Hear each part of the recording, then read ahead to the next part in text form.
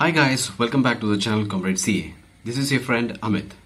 In today's video is an accountant special video because our accountant use some basic Excel formulas to do their work quickly. So I have compiled all those Excel formulas and tried making a video. So before I start the video, let me tell you the Excel function that we are going to learn today.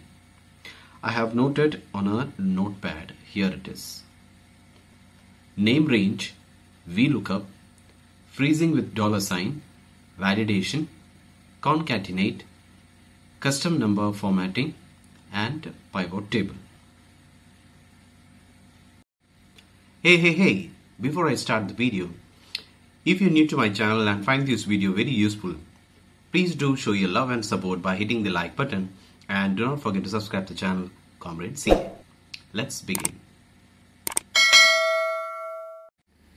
First of all, let's look at the name range. We have to make a total. I have already done this for you. Before I give a name, we have to select a particular range. This is the highlighted what I have selected range and give a name at this corner side such as zone total. Done. Now if you do a total such as sum equal to zone total, close. I can see the magic. There is a total okay now if I have to give a name for the whole range this is the whole range zone detail. Done. So now we shall look up by using this our data which is put over here. Now let's see we look up the two data select that is east and look into the range 2 comma 0 bracket close now we look for copy paste for all below now we don't know how many data is available or if anything is hidden. So we have to uh, name range ready. Now we know that we look up east zone detail 2 comma 0 we'll see the magic. Now copy paste for all. And uh, this is it. Now next is let us guess we need to get the percentage. That is uh, we can do is this is upon enter and making percentage enter copy and then can see the magic. Uh, uh, copy paste for all and yeah you can see the magic. Oops what happened? Why did this occur? What happened? Just just uh, open the cell and see see see use the freeze function as well. Let's see the freeze function. B12 we are freezing it. Freeze helps b12 freeze and remain as constant in every cell. And then copy and paste. Let's see. Okay. See b12 in every cell you can see. And the rest is keeping changing. See see rest is keeping changing. This is the magic of freezing using the dollar function okay now let's check the validation.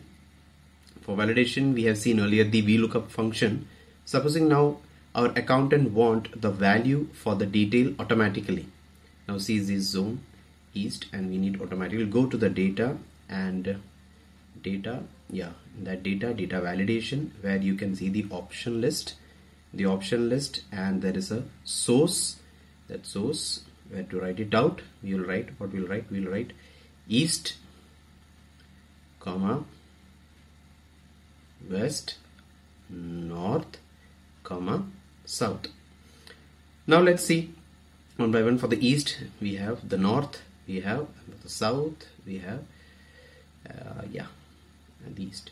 So let's now put the VLOOKUP function. We look up east comma zone detail comma 2 comma 0 now for east of the east west we have for the south we have 122 c you have understood this okay? Now this is how we get the data. Now let's go for now we will uh, see the professionals like to write rupees along with the amount. Like in US we have the dollars now let's select the uh, amount. We have the data. We'll require the data.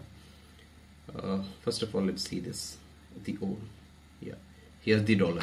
Dollar sign by simply selecting the dollar we have it. Now if you require rupees then what? So first of all let's make the uh, old format. Okay. Like this. And uh, now if I am using some people seen doing this manually see it? Like concatenate equal to concatenate yeah uh, rupee rupees dot and the amount amount on the left. Yeah this see now copy paste all you'll see this. Now if we'll try to make a total see sum total then the amount is not matching. See it's zero. It's not matching you know the reason why? Because of the alphabet we used. See see see values. See it's zero. Now there is no use putting the value. You know the reason alphabet we, we use. Okay? See we'll take the total. No use. See it still remains the same. It is zero. So okay done. So now what we'll do? We'll copy the old data. And uh, here it is. Go to custom formatting we'll check the options. Simply go to the custom formatting of data.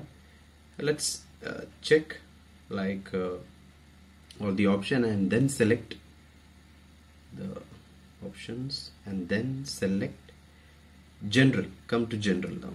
Straight away move up up. Yes general. I can remove that general part and write what is required. That is rupees dot space zero zero dot zero zero. Okay? Now see wow. I can see is rupees. So we can make the sum total. Sum you can see sum sum sum. Yeah bracket close and this all. Yeah. You get the total as well. You can see the magic. You have the rupees has come and the total is also there in it. Okay? So that is the magic with the now we have the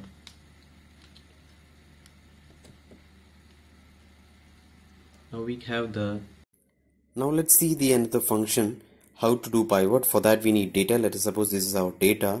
Mm, in pivot nothing just insert pivot table range is as range is selected and uh, then we have existing as well as new worksheet function. Automatically to select new select and yeah the new sheet is here.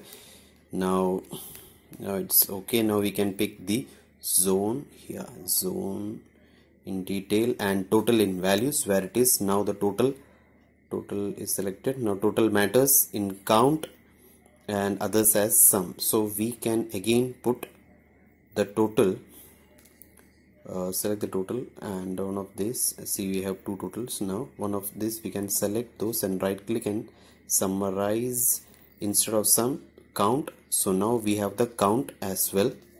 So just putting the border alt hp okay. Hope you like the video. So do share the video. Until then, this is Amit signing off from Comrade CA. Stay healthy, stay motivated, and stay connected.